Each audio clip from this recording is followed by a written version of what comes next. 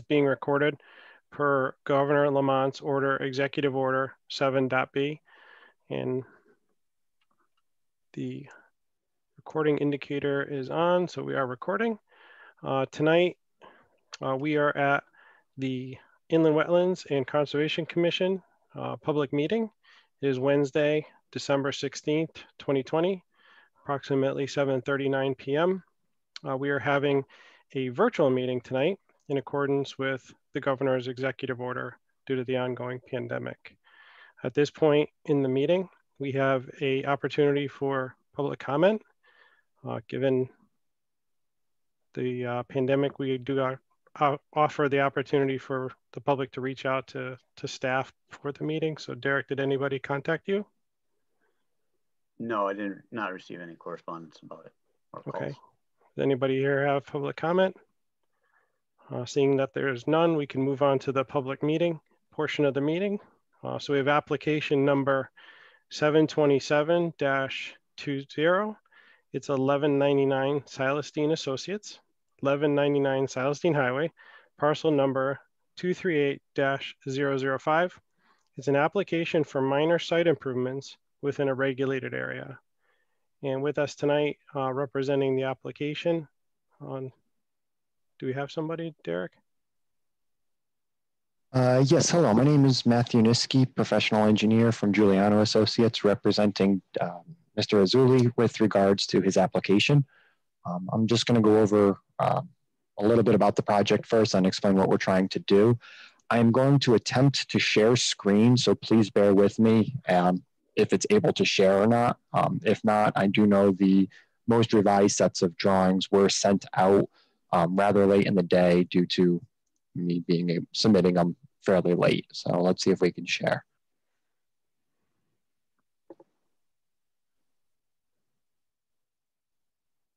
Um, Derek, is there any way I can share my screen?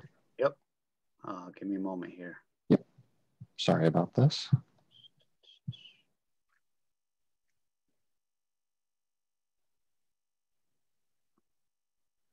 There's a way to let you do that, right?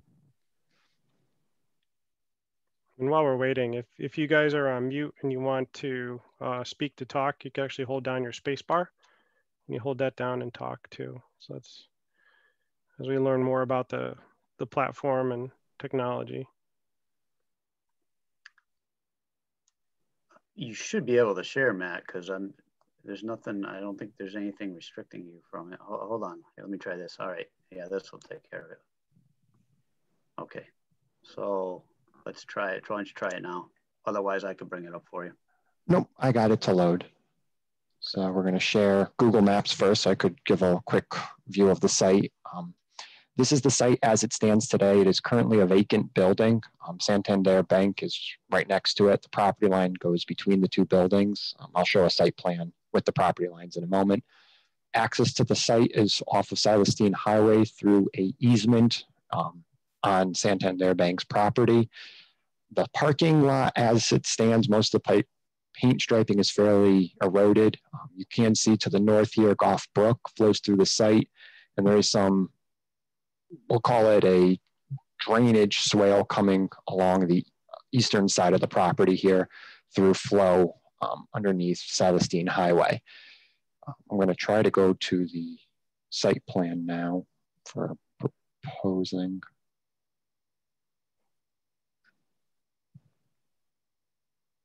And I don't know how to do that. Um, so if with regards to the site plan, while I'm trying to fix this, I'll talk through it. Um, the wetlands as shown on the site plan are from the town's GIS. So the wetlands themselves, if you can see them, are um, within the, oh, I apologize now. I have all my AutoCAD windows open to explain this and I have to show them one at a time. Um, this is the site plan here. As you can see, this is what the latest set of plans submitted will show. Um, the wetlands, as you can see here, come into the property from the town GIS. We were not able to get a soil scientist out there to investigate this. Um, we're showing them per the town GIS because that is the information we have. We are proposing no work within the northern side of the wetlands up here in these parking spaces other than to restripe the parking lines. The work to be done is over here in park, parking space 12. Um, in order to bring the parking spaces to requirement to regulations, we had to expand the parking space out. I believe it was about a foot and a half. Um, the number in front of is included in the um, application for the exact square footage of it. Oh, it's up top here, 122, 52 square feet. Excuse me, Um, Matt. that- Yes. Can can anybody else see Matt's screen, Oh, sorry. or is I- that just me? No, I can't either. No, either. I can't either. I was just gonna It's, ask. Sorry. It's Just interrupt me if something's If- not working. If it would help, I mean, would you want Derek to to kind of display the PDF? If he then- can, And yes, you that can, would you can tell him to flip the pages or zoom around or whatever, you know. Okay. Um, I'm going to just stop sharing them because I paused myself and can't unpause. Sorry about that.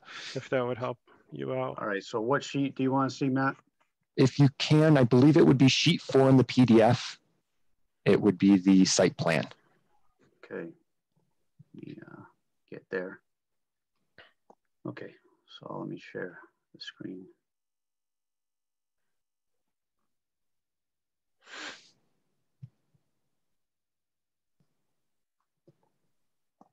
Ah, there we go. Okay, so on the plan that you can see here, this is the grading and utility plan, but this works fine with it. Um, the work to be done is in the northeastern side of the property. You can see there's some hatch there for some existing riprap. We are expanding into the existing riprap, so we're not it's not like it's an established wetlands. There's no wetland species that are growing there. It is just a riprap slope going down towards the brook. Um, we are expanding, like I said, 152 square feet, and most of that is for grading so that we don't have a sheer drop right off the um, proposed parking space. As it exists right now, storm drainage, there are two leak offs on site. One exists in that parking space that we're extending, which we are proposing to leave up, create another leak off there. And then up by parking space 13, there's another leak off up there. Um, during construction, both areas will be outfitted with silt, excuse me, silt fences and hay bales. Um, all catch basins which discharge into Goff Brook will have silt sacks to protect the water course as required. There is a little bit of work to be done within the FEMA one in 100 year floodplain. Um, as you can see kind of in the middle of the screen where it says proposed grassed area, that currently is asphalt. We are proposing to rip that out to put down grass. Um, and then in the middle of the site, there's pro- two proposed rain gardens. Both of those areas currently are paved. We are removing the asphalt to put in some rain gardens. The rain gardens also help offset the increase in fill that we are proposing over by the parking space. Um, I did run the calculations and I just looked at the, the, the stone in the rain garden and the stone alone produces an extra 75 cubic feet of storage in case the Goff Brook would flood. So we did meet um, the regulations for that. Um, with regards to comments received from town staff, um, they did propose removing the curbs on those two inner islands, which we did. We did turn them into rain gardens. They will be landscaped. Um, their purpose is to help collect a little bit of sheet runoff, allow it to infiltrate. Um, when they fill up, it will then sheet flow across the parking lot and, and through the leak offs. Um, we did add the total disturbed site, excuse me, wetland area, which was that 152 square feet. And again, this is just to extend the one parking space to allow the parking space to meet regulations. We are extending it into existing riprap. Again, there are no existing species in that area. Um, and I'm just going to go through the comments from the staff here just to address them to that way you guys don't have to go through the plans. Um, if you do have the comments in front of you, if not, they were submitted with a letter to as part of the revision process here. Um, we did meet the town's MS4 um, permit as a result of those rain gardens because all the water that flows into them is disconnected from disconnected from the river. Um, it will allow extra water to infiltrate into the soil, um, thus helping the town meet its MS4 requirements. It is um, a fairly small amount. I think it was, and it is included on the plans, the exact number. Uh, I think it was 700 square feet, um, which is for a site this small where really we're only removing some asphalt, a fairly sizable amount. Um, all landscaping has been called out. The landscaping in the rain gardens is water resist, water tolerant. Um, they do enjoy being in water. We have proposed them in other rain gardens, and with obviously uh, routine maintenance, they do last quite a long time and they do look nice. The rain garden itself will only be recessed six inches. So the proposed use in the building right now is a daycare, a dance studio, and a restaurant. So with the six inches, it really does not present a safety hazard should a little kid decide to go running in the parking lot, which is always a good thing. Um, as you can see on the site plan in front of you, we are proposing to surround a play area, which is to the west of the building with bollards protecting the children from any rogue cars. Um, we are not proposing to change the grade in that area. So while they are ripping up the asphalt, um, they are proposing to put down almost like a wood chip style surface. So the water will still sheet flow um, towards Goff Brook. This plan doesn't show it. Um, it would be, um, I don't know if you really want to change sheets, Derek, but it, I believe it's the next sheet. We are proposing a stockpile in the middle of the parking lot, kind of like where the proposed rain garden next to an arrow is. Uh, there it is. Um, this is meant mostly just for the asphalt that they dig up. It is not proposed to be left on site for very long. Um, we are showing it and we will surround it with hay bales just in case, you know, a, uh, they're waiting on a dump truck to come. They have a spot to put the asphalt while they continue to remove the asphalt that's shown.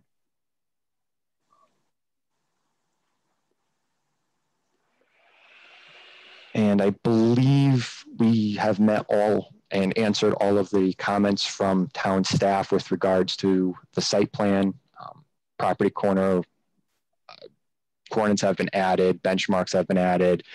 Um, the proposed improvements on sheet three, which I think is one before this, have been called out. Um, if you would, can go there. Uh, this is sheet three, I believe, yes. So all the proposed improvements are shown. Um, again, with regards to what is being done in the 100-year floodplain, um, it is just those two rain gardens and the one little extension of the parking space. There is other work being done outside of it, but it is mostly replacing asphalt with another impervious surface, which we do not foresee any contamination sheet flowing into the river or brook, excuse me. Any questions? did I talk too much? I apologize. Did you have a chance to go through Derek's uh, memo that he issued this evening? Or have I, you seen that? I have not. Okay. Um, was that the one that you sent out about six? I think it was six eleven, Derek. Uh, no, actually, I, I did get a chance to review these plans and okay. I sent you a, uh, a memo. Yeah, it was only 20 minutes before the meeting started. It was kind of a last minute thing. So okay. I did have some comments on uh, on this these plan set. Um, nothing major other than I just I just need a little more information to understand how you're doing the uh, floodplain volume computations. I, okay. this area here, just north of the building, is a is a fill uh, in the floodplain if we're going up six inches. So I just, just need to make sure we're offsetting that. Okay.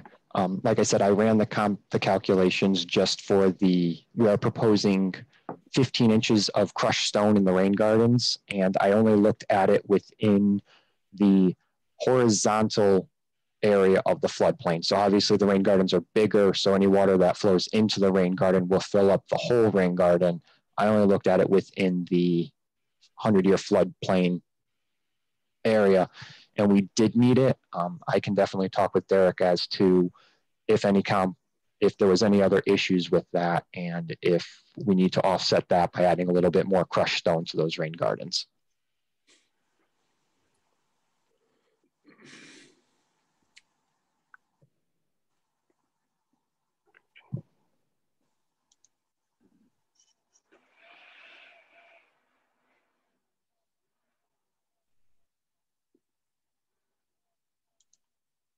Uh,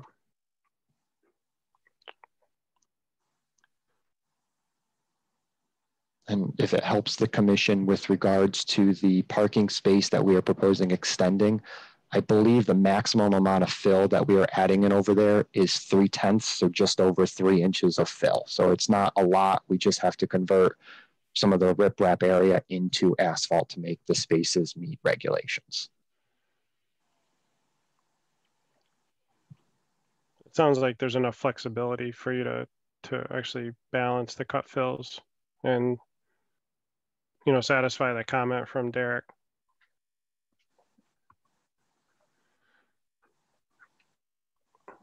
Does anybody else have any other questions or? Yeah, yeah, if you don't mind, uh, I just want to understand the one spot where they're going to impact the wetlands is by that parking space 12. Is that correct? Correct. That's it. And correct. basically, okay, basically at this time, that's all been disturbed previously. It's covered by riprap. You are correct. So- The So the basically, yeah, you're not really going to do much there. You, it's still basically improved. You're just changing it to asphalt, but you're somewhere else in the place you are extending the grass and the rain gardens and everything else to, to take up the slack. That about right? You are correct. Yes, we are showing a net decrease in impervious area on site, even by paving that little area over by parking space 12. All right, So that, that really is not much of a change from where it's at right now. It's just kind of a difference in what it's covered with. Uh, I'm just wondering on Derek's um, first review, uh, item number two, where he asked you consider removing the existing curb, et cetera, et cetera. Obviously, you considered it. Um, You, you don't want to uh, do it basically because of cost? Is that, is that it? Uh, you are correct. It is cost. Um, we would have to remove all the curbing along that area and install curb stops along in each every, in every parking space. Okay, In terms of the cost of the overall site work, um, excluding the playground area, but within the site walk or site itself, that would is quite sizable compared to the rest of the work being done for the parking lot. And you feel that that would disturb more area within the floodplain than the way you're going to do it right now? You are correct. Now, did you provide any computations to Derek on that or how you, how you came up with that? Computations with regard to the cut fill or with That if you did it as he was asking you to consider that it would, uh, would disturb more area in the floodplain? I I have not. Um, it would, the only disturbance would be the removal of the curb along that area and then um, obviously installing the curb stops and, and with the hill right next to it, they would probably be bolted down. So you'd have, you'd be putting holes in the asphalt right along the wetlands. Yeah. In terms of disturbance, it's, it's minor. You're replacing a solid curb with a six foot curb every parking space. Is the, Okay. the curbing presently backed up with with stone or with I, soil?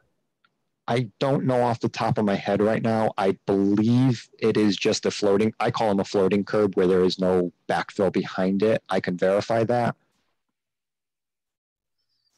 Yeah, that's, that's what it looks like from here.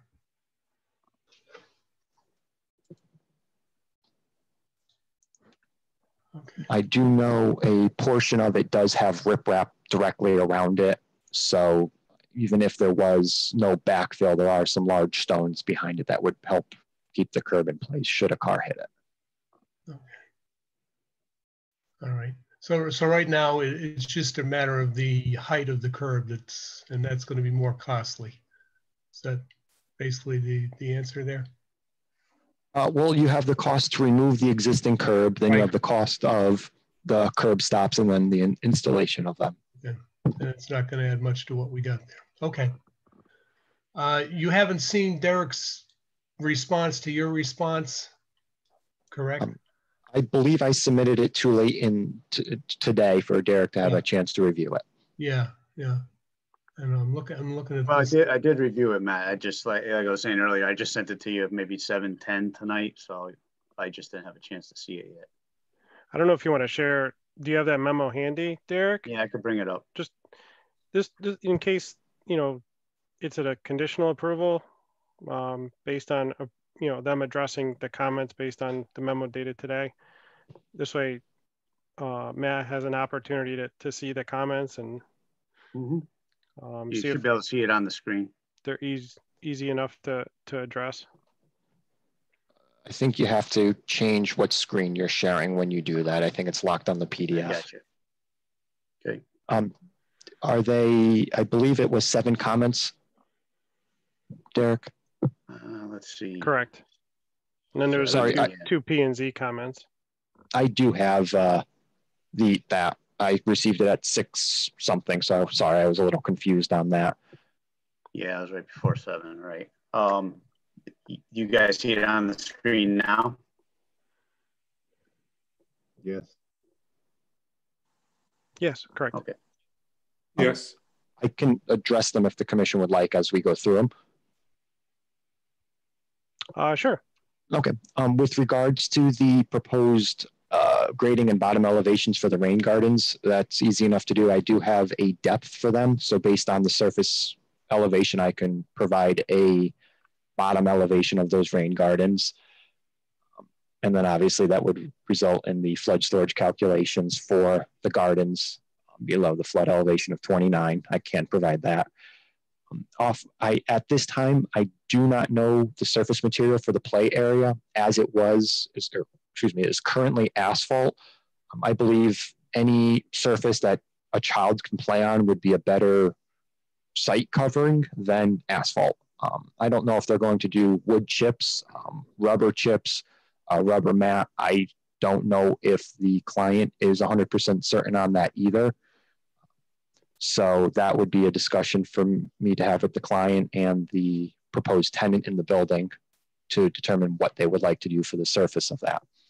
Um, with regards to the relocation of the soil stockpile, the location of the stockpile was just arbitrary, just to show that there is area on site. I have no issues moving it, and I am sure the client would have no issues with a moving of the stockpile.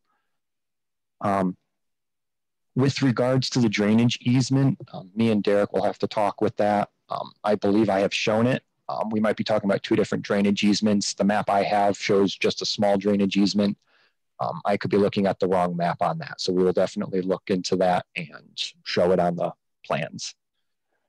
Um, with regards to the start and end dates, the client is, is expecting to start assuming approval from the Inland Wetlands and Planning and Zoning Commission mid-January, excuse me, mid-February, based on pulling permits, and he's expected to have everything done by mid-June.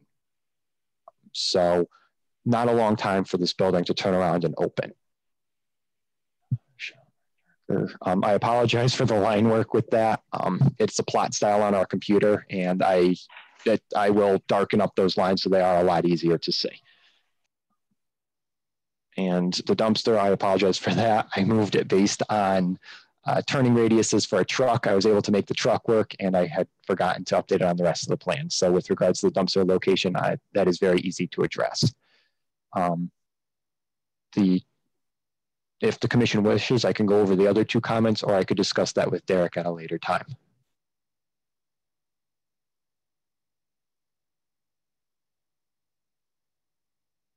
I mean, I mean, you could go over it if you'd like. Okay. Um, with regards to the handicap parking space, we are doing proposing a small amount of grading over there. I believe the maximum we're removing is through just over three inches from the asphalt. Obviously, it will have to be repaved to meet the two percent maximum slope for the uh, accessible parking spaces.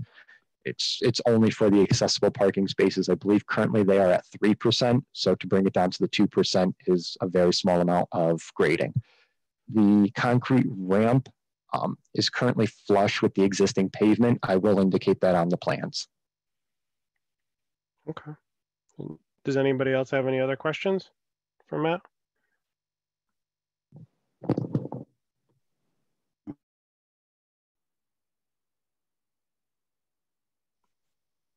No, we're good. Yeah, I'm all Uh, set. Okay, do we have a motion to approve the, uh, the application? Yeah, uh, this is Lou. I motion to approve the application. Uh, one, uh, question, do we want to do this conditionally? Uh, Yeah, that's what I was, I was thinking, uh, conditional based on addressing or incorporating revisions resulting from the comments from the December sixteenth, twenty twenty memo from Derek Greger. okay, great. Um, I'll make a motion to approve application number seven two seven dash two zero, eleven ninety-nine Silas Deane Associates, eleven ninety-nine Silas Deane Highway, parcel number two three eight dash zero zero five. Um, conditionally pending the agreement, uh, to anything that the town engineer, um, will end up, uh, requesting. And then do we have a second on that motion? Yeah, I'll second it. I, I don't see a big impact on wetlands here. I think he's covered all, the first memo, he covered a lot of bases and uh, it sounds like he can cover these other things. We've heard testimony, most of the items he's verbally told us that he can do it. So, um, yeah, I'll, I'll go along with that. I'll second it. Okay, so we'll put it to a vote. So all in favor? Aye? Aye. Aye. Aye. Opposed? Aye. And that passes. Thank you best very much. Have a You're good night, welcome. everyone. You too. Hey, Matt. Um, just before we restart, uh, I know we had someone new, uh, jump in with the last four digits of three seven two two. Um, is that you, Mary, or is that John that joined us? I didn't, ca- I didn't catch what number. Three seven two Oh, two? zero, zero seven two two is me. That's you? Okay. No, w- no, wait a minute. Oh, let me figure this Well, out. Mary, I got, I have you. Are you in twice? No, I'm not. Okay, so this, this is the cell phone. So it's two zero three six two three eight four four five. Okay. Uh, if someone just joined recently with uh, eight six zero nine seven eight three Uh, seven. must be, it's maybe Sue to get audio. Yeah, that's what I was wondering. Maybe it is Sue. So maybe she's on the computer to see the screen and then chat, and then she needs the phone for audio. Yeah, it's her. Okay, we're all set. Thank you. Okay, so moving along to our next application. It is application number 728-20, uh, JNS Enterprises Incorporated, 1785 Berlin Turnpike, parcel number 031, 022. Application for slope improvements within a regulated area. And with us tonight, uh, presenting for the applicant is, Uh, for the record, Kevin Johnson, uh, Close Jensen and Miller. Uh, Derek, if I could just share my screen, I'd like to point to a few things.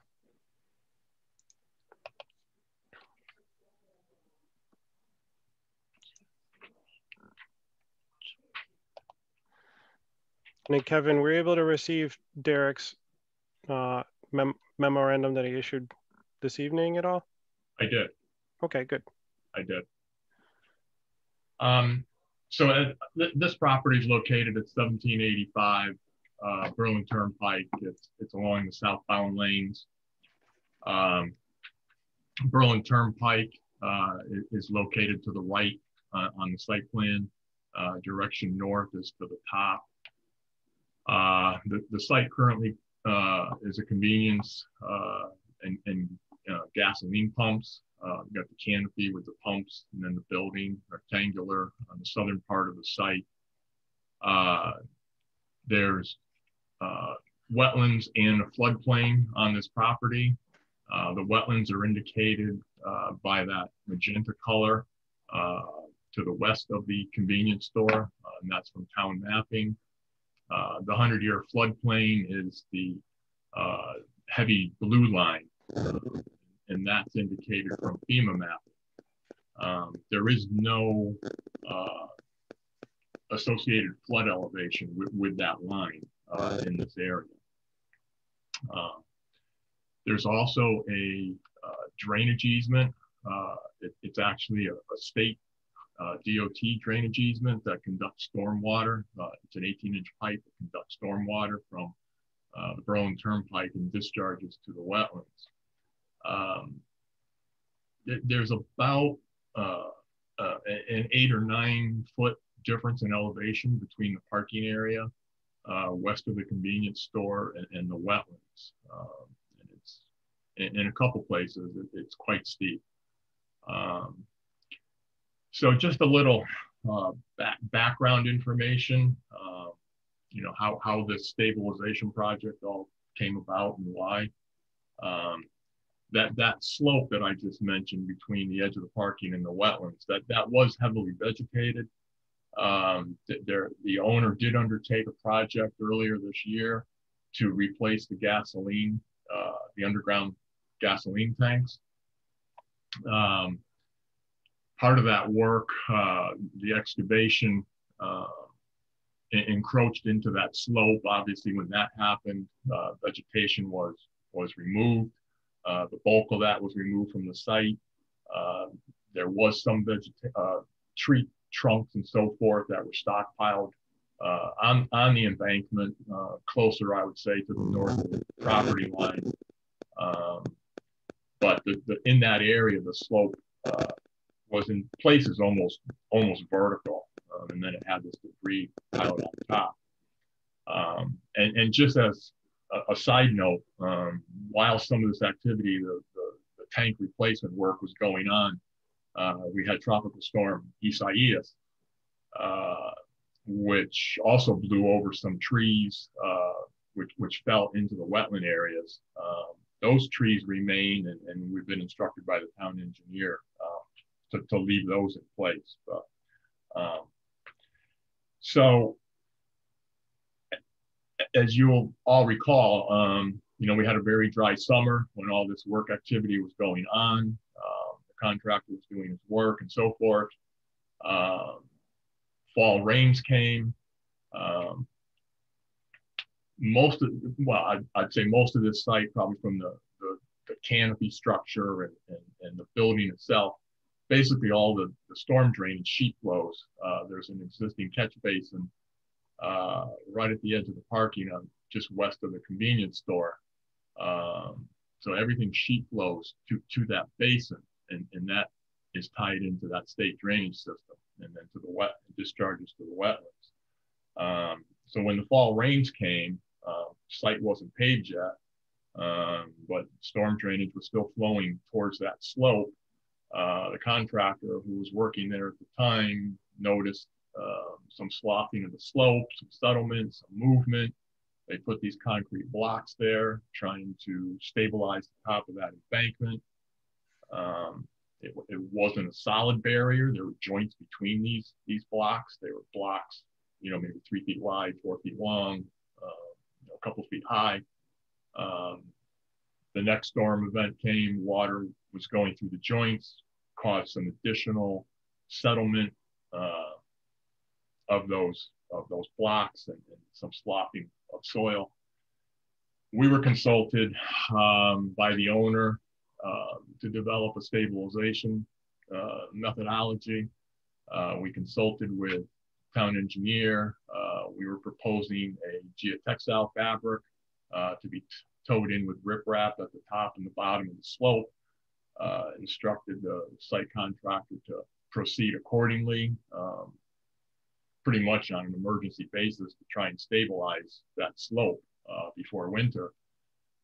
Um, the, the day the contractor decided to undertake that stabilization work, another storm event came. Uh, more movement was starting to happen. Uh, again, the contractor switched immediately, fearing that the gas newly installed gasoline tanks would be undermined if that slope gave way. Uh, he immediately started placing riprap uh, on that slope. So that's that's how we ended up with riprap. Um, so about two thirds of that slope was done, um, beginning from the southerly area uh, around the edge of the, uh, the parking. Uh, but the work proceeding towards the north uh, to the abutting property, that, that was left in place. Um, various reasons, the, the owner had to contract with a, a second contractor Uh, one to remove that tree debris, and and two uh, to to do some regrading on that slope. Again, as I mentioned, it in, places it was almost vertical. Uh, the regrading of that slope, uh, the intent being to create a, a, stable angle of repose to, to continue placing the riprap. Um, so as, as, part of that regrading work, approximately 46 and a half cubic yards of soil were removed from the site. And in total, including contractor one and two, uh, 64 and a half cubic yards of riprap were brought onto the site. So there was a difference of, of about 18 cubic yards. Um, again, I mentioned earlier, the heavy blue line is the 100 year floodplain. Um, again, uh, you, will notice that it crosses through several contour lines. Uh, and again, there's no base flood elevation uh, for this portion of the site. And we, we know, um, you know, water just is not going to jump, you know, five, six feet there. Um, so it, it, was hard to, without a base flood elevation, hard to determine if we actually had a, a loss of flood storage. Um, so you'll note in the, in the narrative attached to the application, it mentions there, there may have been a loss of flood storage. Um, it was something that uh, we were going to discuss with the commission. Um, so subsequent to, uh, you know, the, the, submission of the application, uh, town engineer issued review comments. Uh, one of the comments, or, or, a couple that kind of go hand in hand, uh, one of the comments he, he wanted to see uh, pre-existing uh, contour elevations be before any work was undertaken. Um, now we we weren't part of the gas station uh, renovation work, uh, so we we did not have surface elevations uh, be before any work commenced. Um, the engineering department provided uh, CJM with uh, town GIS mapping for pre-existing conditions. Um, and we, actually ended up doing a uh, as-built field survey uh, of, of the existing conditions as, uh, as of uh, yesterday. Um, again, to, to do volume calculations um, be, between pre-existing conditions and, and, what currently exists on the site uh, in consultation with uh, Mr. Greger, uh, he and I agreed that we would use the contour 212 elevation as the, pretty much the basis of an assumed elevation for the flood and, and a comparison elevation. And the reason we picked 212 if you notice towards the west a little bit, uh, the, the FEMA mapping is pretty much a straight line, but it, it pretty much is coincident with about the 212 contour. So that, that's why we selected the 212. So in comparing the two surfaces, um, it, it appears that there's a net fill uh, after all the riprap, riprap and regrading work of about seven and a half cubic yards in the 100 year floodplain. Um, so we, we acknowledge that. Um, there's a couple ways we could we could handle that. Um, the, the, field survey also noted that, that there's an encroachment over the northerly property line of about five feet or so with some riprap. So um, in, in, the spring, we'll, we'll have to address that, pull that back. So in conjunction with that work, um, one option could be we could do a little more excavation in that area regrade and, and replace the riprap. Um, the, the, other option, that 18 inch uh, storm drainage pipe that I uh, mentioned uh, that conducts stormwater from the Berlin Turnpike to the wetlands, basically the outlet uh, at the head wall there, uh, that, that pipe, uh, our surveyors couldn't even get a flow line on that. That, that pipe is basically buried. Um, the, the structure. Um, when you look inside, it's filled with water. We couldn't get a flow line on the pipe.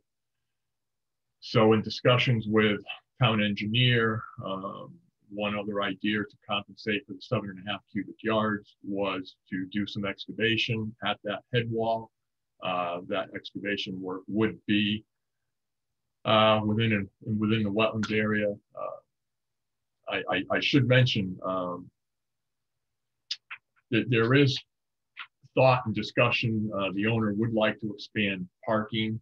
Um, we're still evaluating the feasibility of that, but we did have a soil scientist go out there um, to flag wetlands. Uh, so that magenta line, that's the town wetlands, is not accurate. Um, the real wetlands really follow the toe of the slope about that 208 contour. Um, but again, going back to the second option to compensate for the seven and a half cubic yards, uh, we could basically take that seven and a half cubic yards, create a scour hole at the outlet uh, of the head wall in that 18 inch pipe, and, and hopefully try and, and get some flow going from that 18 inch uh, drainage pipe. Um, that there would be obviously a disturbance to the wetlands uh, to create that scour hole. But so there, there are a couple options there, um, but right now um, we're, we're indicating to do that work for the scour hole. Um, so I think uh, we've been working very closely with uh, town engineer. Um, I think we've satisfied uh, most of his comments. Uh, I am in receipt of uh, the memo from uh, earlier this evening. Um, have no problems with that. Um, the first one was to add a note um, regarding the 212 contour elevation, uh, that it's the assumed elevation for comparison of, of the flood. So we'll add that to the plans. Uh, the second comment uh, was to revise uh, the, the scour hole uh, and, uh, you know, provide more some dimensions on that. So at this point, um, that concludes my comments and be happy to try and answer any questions.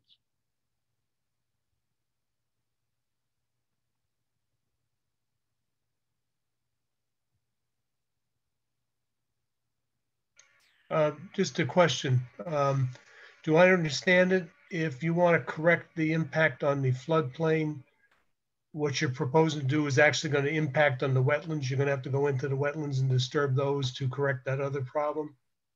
That, that's one option, correct? That's one. Right.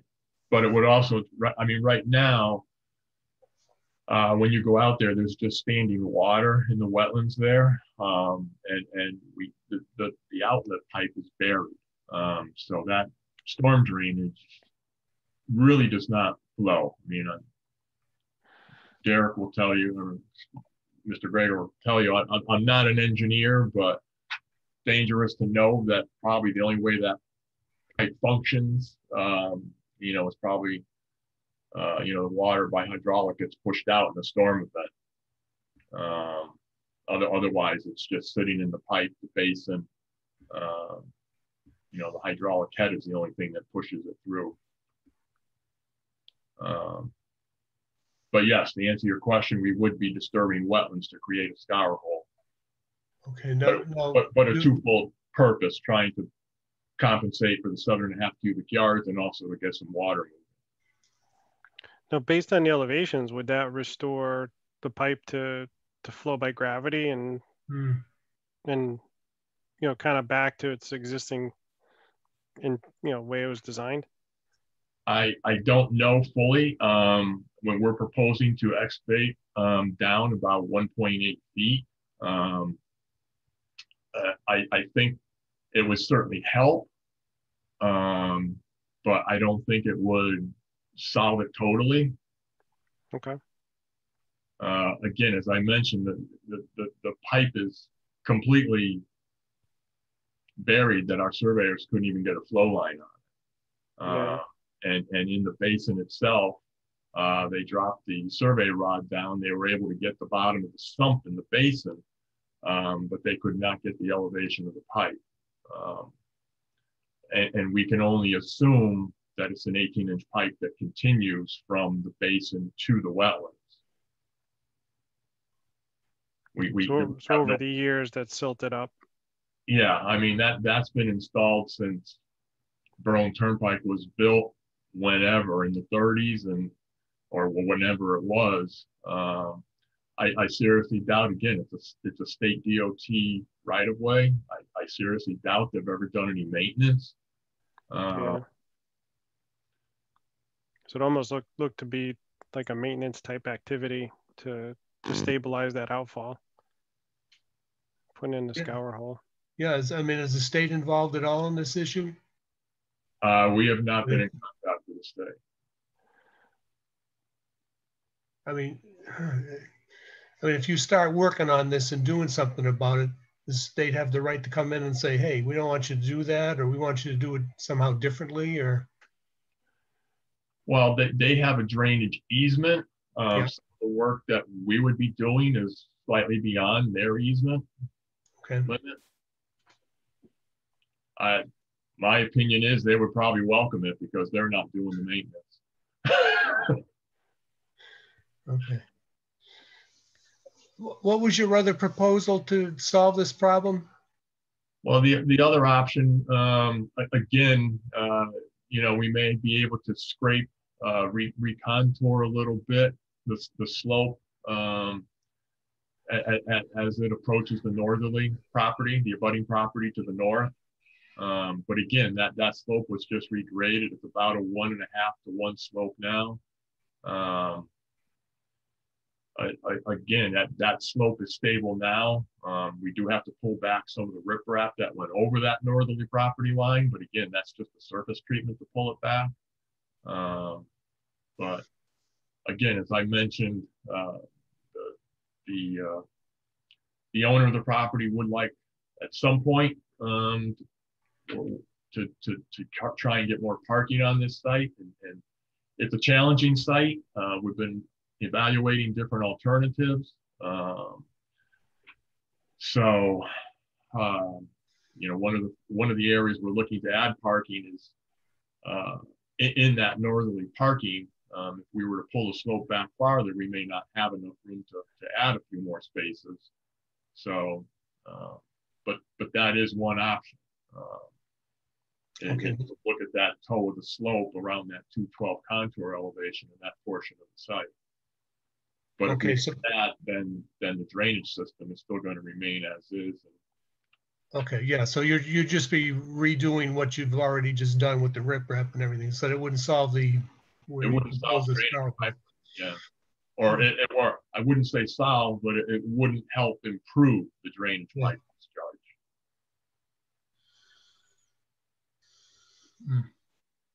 Yeah, it looks like the application here is proposing the the scour hole. Correct, Kevin? This is correct. This is our latest plan that we actually Okay. have still performed revisions to today in, in conjunction uh, with working with Mr. Greger during the day. And then the scour hole will allow any future accumulated sediment from that drainage system to be cleaned out. Right. Yeah, I, I think a lot of the sediment happened obviously in the days when heavy uses of sand occurred during winter months. And I think a lot of it just mm-hmm. got flushed through that drainage system and over the years has just accumulated in that wetland area. Yeah, when they were using sand and and salt mixed together. Right. How, how much of an impact would there be on the wetlands if you were to do what you're proposing here with the scour hole? Uh, square footage wise, Yeah, any idea?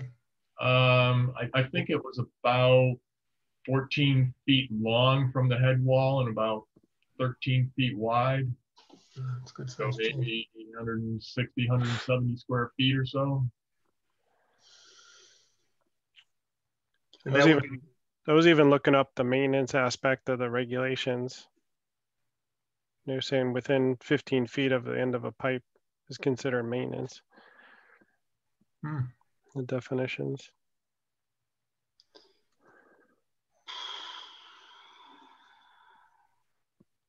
Yeah, but if you clean it, if you clean it out though and everything, now you've got the, everything flowing through it. Where's it going? I guess that, that's still the, the issue. Yeah, and then the soil's exposed as well. Yeah. You just clean that area out and not put back any sort of stabilization measure.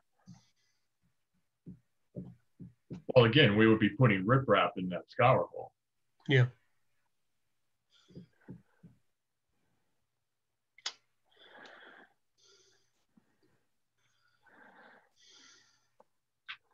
And Derek, you you've had an opportunity to look at this and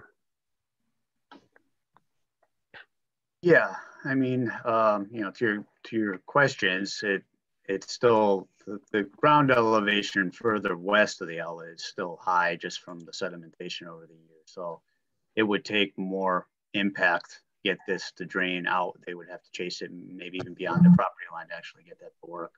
Mhm. Um, so, you know, we had discussed this at the last meeting. Um, you know, like, there's no great solution to it. I think that you know, generally speaking, the slope that has been rebuilt and is stabilized now is pretty close to what was there.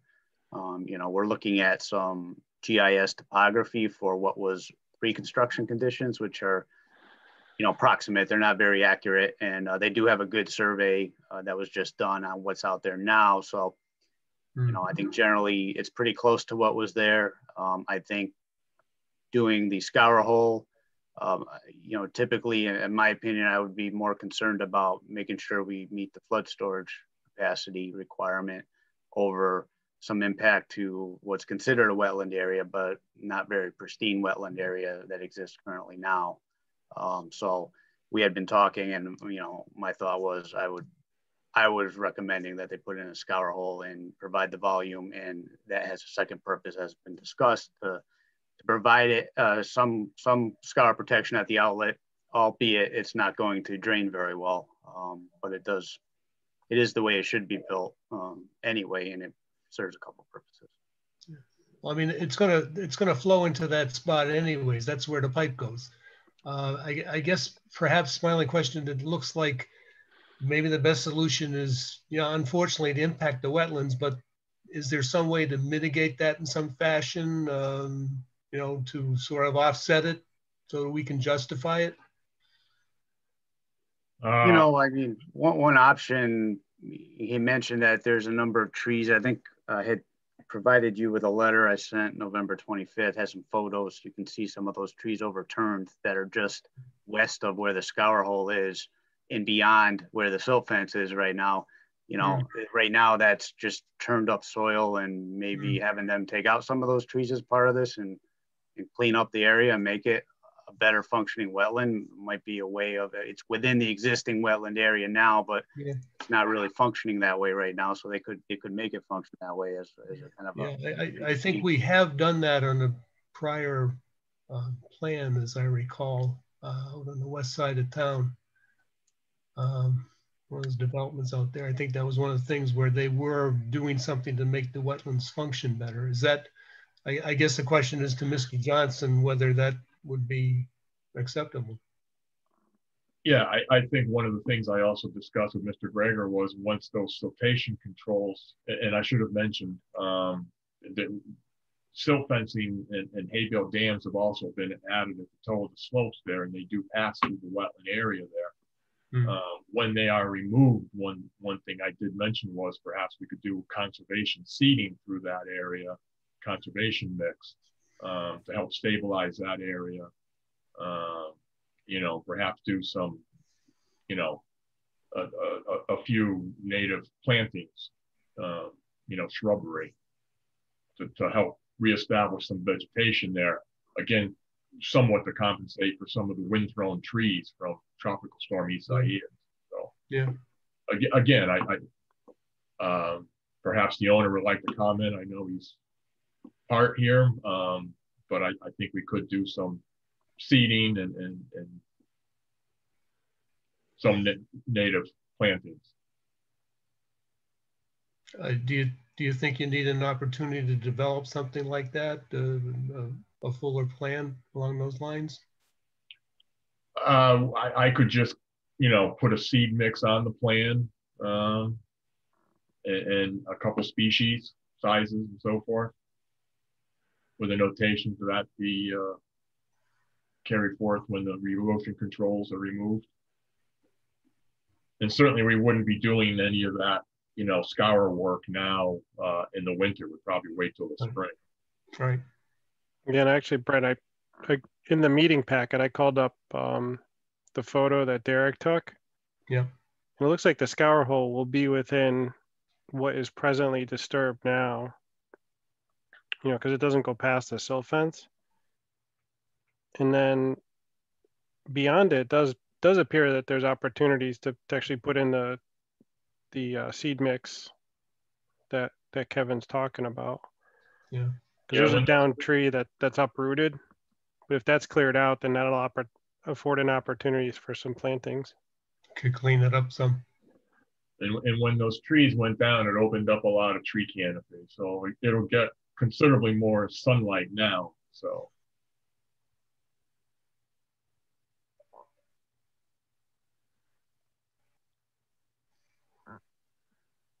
Well, you know, I mean, to my view, I mean, if you got to do this thing with the scour hole, which it sounds like that's the way it's it's going to go, um, you know, it's going to impact the wetlands. Then, you know, even what it is, we need to have some mitigation. So, I, I guess with that is sort of my general thoughts on it. Um, I, I guess the question is, uh, do we know enough to be able to say something about this plan today, or should we wait maybe till the next meeting to see what exactly they come up with.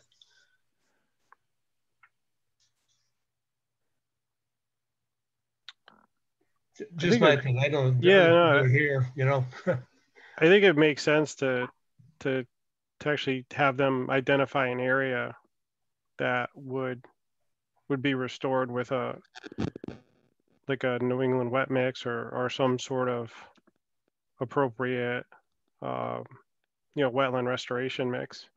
well, I, I Yeah. think I think that's what I would use. Um, that's typically uh, from New England wetland plants from Amherst, Mass. Is, is Yep. their is their wet mix, um, and, I think the area would be identified probably as that limit from the scour hole westward to you know about where that magenta line is. That's the, that's basically the boundary of wetlands indicated by town mapping. You know, it, it would be in that area there, and, and then do some uh, native plantings. You know, perhaps some viburnums. You know, probably more over on the edge, uh, not not versus right in the middle. Uh, toe slope in that area. So basically, a trapezoidal shaped area. Right.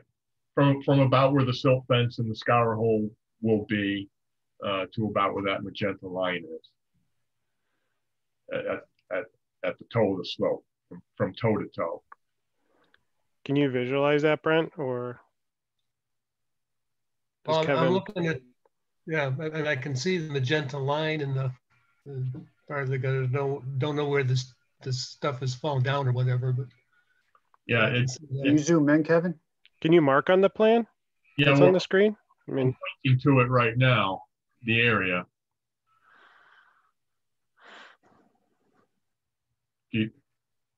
So that, that looks like it's about as twice as big as the scour hole.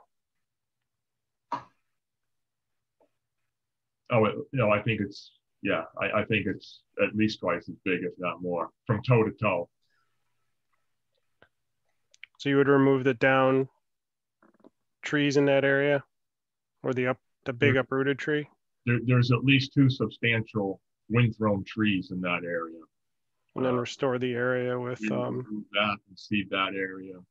and- wetland seeding. and, and again, do some native plantings, um, you know, some viburnums, uh, you know, maybe some red twig dogwood, things of that sort that'll provide some habitat and, and forage for, for any wildlife. Uh, You know, that, that- that sounds fine with me. I guess the only question is, do we want to uh, plan with that, those conditions, uh, Derek's input, or would we want to table the motion, table it until next meeting, to see them come forward with, you know, their complete plan? So That's only it. How, how firmly do we want it in place, basically? Kevin, when was your start date for this? For the remediation, for the, for the Yes. scour hole, Uh, Yeah, for the project. probably not until spring. I, I, don't- I don't think I would want to open this up now at this time of year. Okay, so we do have time if we table it.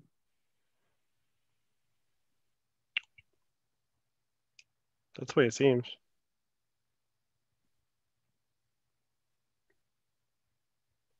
So what do you think, Lou? Would, does that make sense to have him come back with a, you know, plan that's Yeah, I mean, marked up with the, the plantings and, Yeah, I mean. Yeah, I mean, it, think it doesn't sound like it's of the essence that we've got to get this, uh, you know, done right now. Correct. Kevin, would you be good with that, right?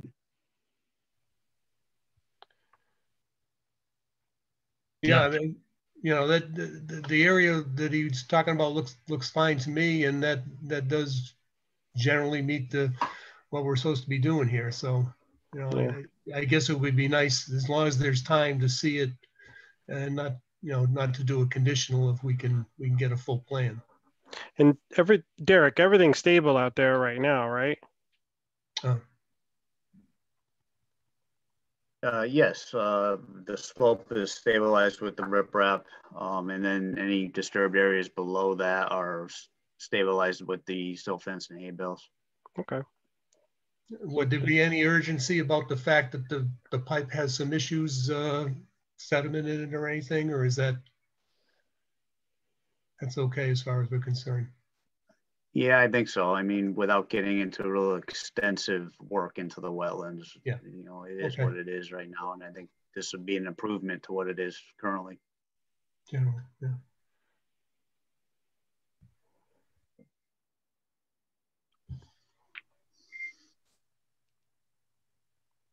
Okay, so it sounds like we'll, we'll, what, table the application until next month? Is that where we're leaning and then have Kevin come up with a, a, um, a plan to, to enhance the, the wetland downstream of the scour hole? You're on mute, Brent. Yeah, I would make that motion. Okay. Um, did you want to make the motion? Uh, Sure, I can do that. I, I move that we table application number 728-20, Janus Enterprises, Inc., 1785 Berlin Turnpike, parcel number 031-022 until the next meeting.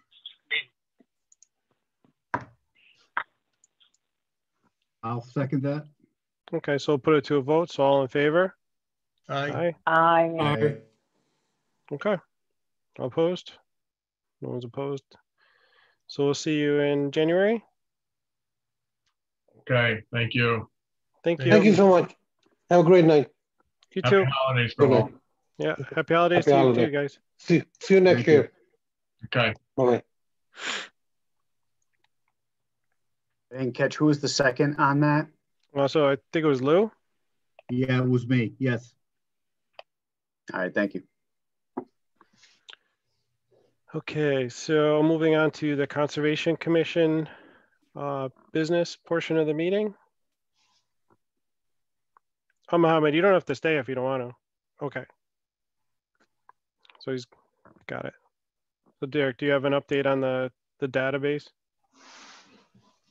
Yeah, I, I, I know last time we talked, you had asked me to look into that a little bit more. So, um, as I understand it, we were, we've done some of the work, um, to get town properties, conservation land, conservation easements, um, cataloged and into the GIS. Although at this point, I don't, my understanding is that process hasn't been finished yet.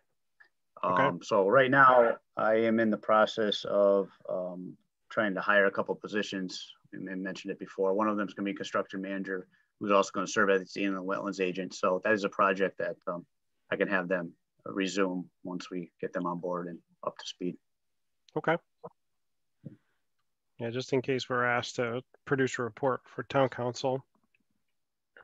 Um, I'm not sure if there's any opportunities out there for purchasing open space, but.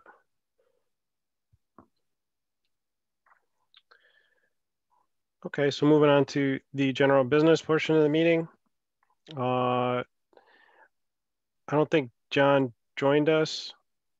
So procedurally, I don't think we have a quorum to approve the minutes. Is that how it appears? Yeah, it appears we have four uh, of the six members that were present that night. So we can, um, we could table that to the next meeting. Uh, do we need to put that to a vote? I haven't really encountered this. What do you think, Brent? I don't recall us ever doing that. We just, Yeah, I don't, enough I people and that was it. just pushed it, yeah. Okay, so let's push it off. And then moving on to item number two in general business, we have staff update regarding the status of dock encroachments at the 1860 reservoir. So if you give an update on that, Derek.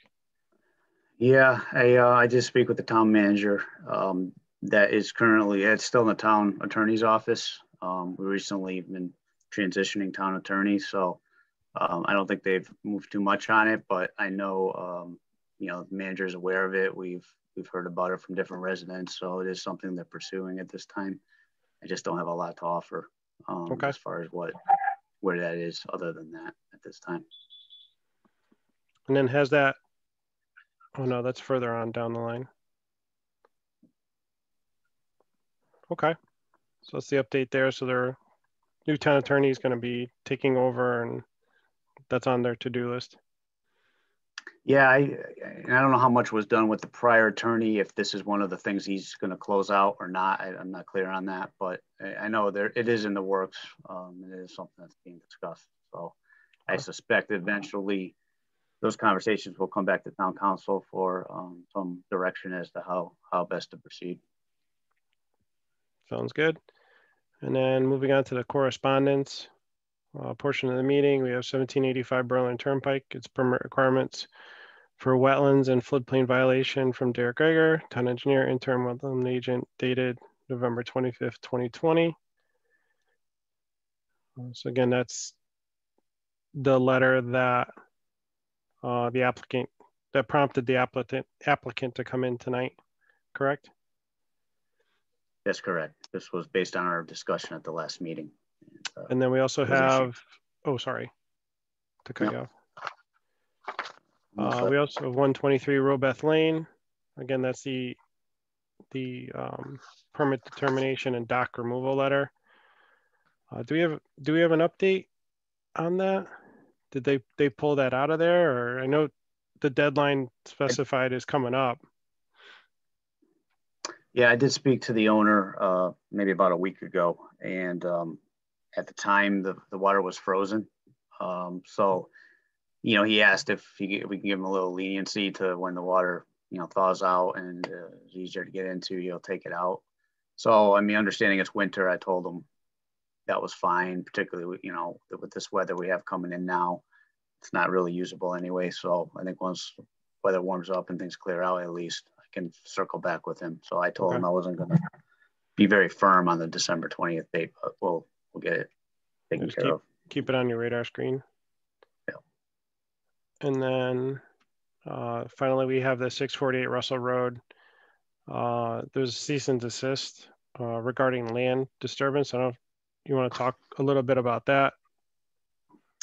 Yeah, we, um, I was notified, um, by some other town staff that there was some clearing operations going on on Russell Road. This is a couple properties south of Arrow Road. And, uh, looking at it, it stopped out at the site. It looks like the disturbance exceeded the half acre threshold, um, probably closer to one and a half acres of disturbance. So I had sent this out. Um, it was hand delivered to the contractor working on site. The property owner did call me back um, apologized. He claims he wasn't aware that he would need to come in for a permit. He did stop in, from what I understand, to talk to some engineering staff, and there might have been some miscommunication regarding. He was questioning, or my staff believed he was questioning permits for work in the right of way, which he was not doing. They said that he didn't need it, um, but he did admit he didn't. He wasn't very clear with staff as to how much clearing he was planning to do. Um, so they weren't aware it was this much of a project. So basically, when we spoke, he asked if he could remove the stumps that had already been excavated and stockpiled on site, uh, which I said was fine. And I directed him to install silt fence below all the disturbed areas, um, which he has done. Uh, so his intention is he's he has a surveyor. Uh, I think they already did some of the field survey, so he's working towards getting an application into us uh, at the next meeting in January. And um, I had corresponded with him via email. I think it was maybe just yesterday, um, indicating that you know, as at this point, we've inspected it. He's done that work where we cannot utilize the site for parking or any more site improvements um, until such time that he comes in and gets the appropriate approvals. So he has been in touch with planning department. Um, sounds like he's going to have to come to them for his long-term plans. Uh, one of the issues out there that had already been installed, they put in like a 30 by 40 foot paved pad. Um, from what I heard from the planning director, he had indicated that he was planning to park vehicles there. Um, some company was going to be parking this as a satellite location, um, which won't be allowed until he goes through planning and zoning approval. Um, so I had told him, you know, whatever plans come in, he's got to show the work that's been done to date, and then we'll figure out how we're going to address it. Okay. And then procedurally, I know there's the flexibility for an E&S certification um, for an applicant in town to either go before us or to planning and zoning. I just haven't um, been paying attention to if P and Z adopted that portion of their regulations that allows them to approve the E&S. They did, and I talked to the planning director about you know how we felt it was best for them to proceed. So since since they don't have a real development plan and don't expect to have one for some period of time, uh, we, th- we thought it made sense for them to come to Inland Wetlands uh, Commission for the uh, erosion control certification. If they were at a stage where they're ready to submit development plans, then we may have just had them handle the erosion control as part of the planning and zoning permit approval. But okay. since they're not at that level yet, we thought it made sense to have them come back for this. Okay, and then the the site is stable at this point in time as far as erosion and whatever they've, they've done for some, grubbing? Yeah, they're they've stopped work. They've stabilized what they can. I mean, obviously, we're not going to get anything to grow. There's some um, stone put in certain areas out there, and they've uh, you know surrounded the site with silt fence and wood chips backed up with wood chips. So okay. at this point, I think they're okay, and then we'll see what they come in with and what they're looking to do. He was apologetic you know, like I said, he's explained that he wants to do everything right. So he seemed to accommodate the, you know, the direction to stop work and do what, what I mentioned earlier. And he did that within a few days, like he said he would. Okay. Does anybody have any other questions on that?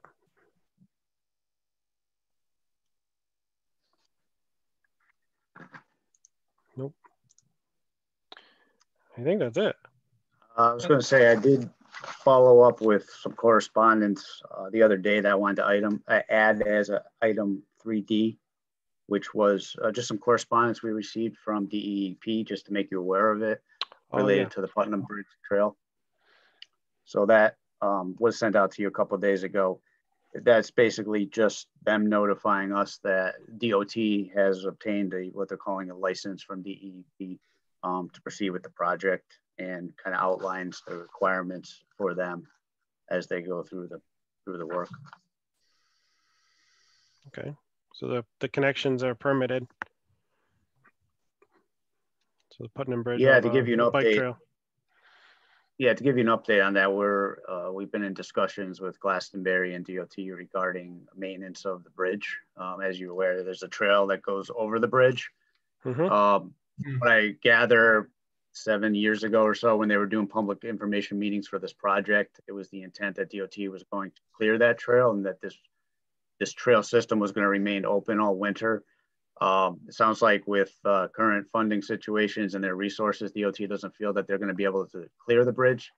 So they were requesting that the town of Glastonbury and, and the town of Wethersfield work together to clear it. Um, the problem being it's uh it's a fiberglass deck. It's very narrow. I think it's six feet wide. Um, obviously, when they're plowing over the bridge, they're piling snow onto the trail. And it's just both towns just feel like it's beyond what we're going to be able to do, both from a manpower and a time perspective and a cost perspective. We don't have the right equipment for it. So we're in discussions with DOT now to see if uh, maybe the maybe the solution is going to be having it closed during the winter or having it closed when it's snow covered.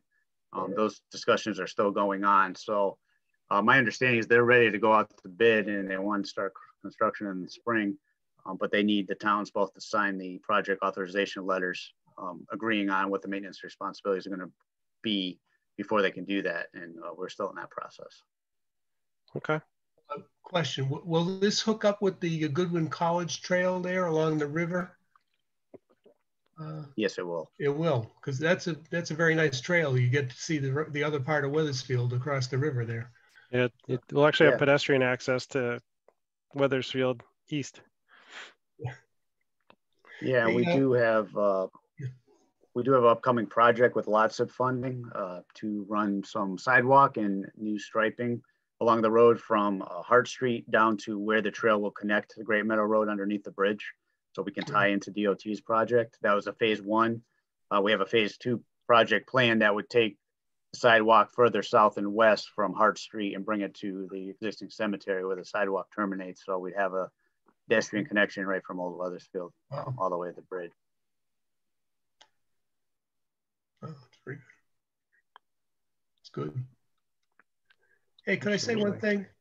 You don't mind, besides Merry Christmas, Derek, I, I just want to say that uh, I, I rely on the memos that you prepare with all the comments and everything. I really do. And I, I do appreciate, I know it's hard and uh, time-wise, it's, it's tough to get them all cranked out in time, but, but I, I do appreciate them. I, I think they're very good. I, I just personally want to thank you for, for doing what you're doing there. I appreciate saying that. I, uh, you know, like I like, I hate sending things out to you 20 minutes before we have a meeting, but, um, you know, I know these things can get complicated, and if we can simplify it, you know, I'd rather try and get you what I Yeah. can. So I do do it when I can. Uh, as you mentioned, uh, time is is tough right now, where I'm my normal staff is five, and we're down to two. So Yeah. I'm hoping to restaff soon, and then things will get back to a little bit more normal for our operation. Yeah, and I, I appreciate that they're thorough and you- you're definitely consistent with your comments too, which is nice. So that, you know, our repeat customers, you know, definitely know what the expectation is, which is good. Yeah. It's doesn't stop me from having to comment on the same comments, but yeah, that's that's the hope. Yeah, it's good having a predictable process. Yeah, Uh, you know, I I can, I can recall when I came in that uh, sometimes plans coming in to some places, you know, they were missing a lot of stuff, and I, I think they have improved quite a bit lately. Yep. Yeah, I I know uh, with the zoning regulation, recently revised to include some um, checklists for their applications to make them more complete. Typically, these Hmm. are a little less complex, so seems like we're doing fine without them. But um, you know, that's something we're trying to move towards is getting people to understand upfront what's required. And part of the changes we made in the regulations recently for inland wetlands will, you know, help give them some guidance too as to what we're going to be looking for as far as LID and stormwater treatment, things of that nature. And not to prolong the meeting, but did, did you want to talk at all about the, the regulations at all, Derek? Oh, the what I had sent you? Yeah, I could I Correct. could just mention it.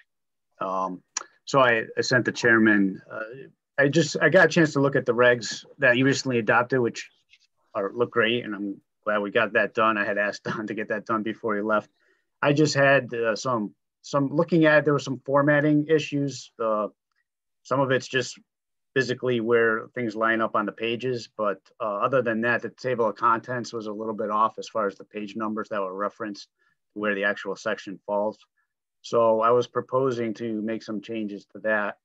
And I wanted to make some minor changes to some of the applications to um, add a little bit different additional information that I think would be useful for the commission and for myself when doing reviews.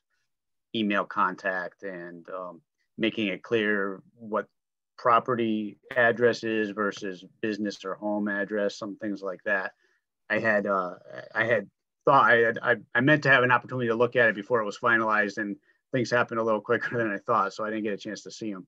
So based on that, we had a discussion. Uh, we weren't clear on what the requirement is. I know there's a process you all just went through to amend the regulations. I don't know what this will entail. So I've uh, I reached out to the town manager, and I was going to touch base with the town attorney and see if we can get some feedback on if this is something we can uh, that requires a public hearing or if it's something that can be approved um, just by the commission itself without needing that in DEP notifications and such. So hopefully I'll get more information before the next meeting. And if I can, um, we'll get you something to take a look at before that. Otherwise, you know, nothing's that critical. It's just I want to, I'd like to clean some things up um, since we just went through all that work just to finish it off.